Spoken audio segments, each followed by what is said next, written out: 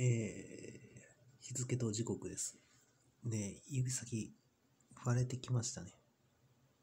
ちょっと、あの、オロナインに近いような内容のものを指に塗って、なんとかしようと思ったんですけど、ここ、切れ込みが、みたいなのが入ってるでしょう。こういう状態ですね。